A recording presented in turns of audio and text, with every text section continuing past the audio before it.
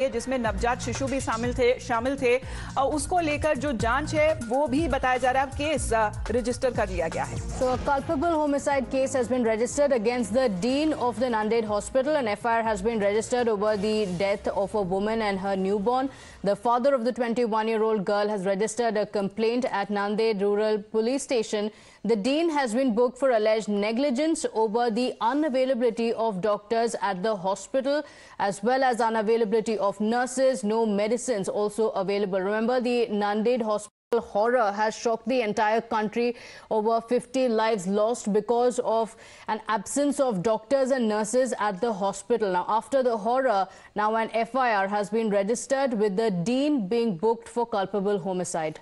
तो लापरवाही का मामला बताया जा रहा है नेग्लिजेंस का मामला बताया जा रहा है और जिस तरीके से जो स्टेटमेंट जारी करी गई थी, दोनों डीन की तरफ़ से और हॉस्पिटल की तरफ़ में उससे उसमें ज़मीन आसमान का अंतर था, जहाँ तक बताया जा रहा था कि शायद दवाइयों की कमी होने के कारण या स्टाफ के कमी होने के कारण ये बताया जा रहा था कि पेशेंट्स को उनको मेडिकल ट्रीटमेंट उनको नहीं मिल रहा था और हमने देखा कि कितनी सारी मौतें एक दिन के अंदर, चौबीस घंटे के अंदर पहले बताया जा रहा था, चौबीस से ज़्यादा मौतें रजिस्टर की गई है और उसी के ऊपर हमने देखा था किस तरह से विपक्षी पार्टियाँ महाराष्ट्र में आरोप लगा रही थी सरकार पर, राज्य सरकार पर कि उनकी नाकामी की वजह से हम पहले थाने में हमने देखा और उसके बाद नांदेड़ के एक अस्पताल में देखा जहाँ पर लोगों की जान लगातार जा रही थी और यहाँ पर भी अब बताया जा रहा है, एक एफआईआर, एक केस दर्ज हो चुका है। यहाँ महिला और उसके नवजात शिशु के मामले में बताया जा रहा है, अब ये केस रजिस्टर हुआ है।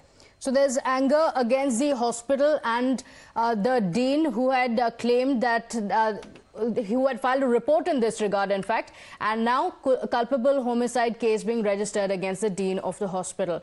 Uh, we're keeping a track of the developments there. Quick break. We'll be right back.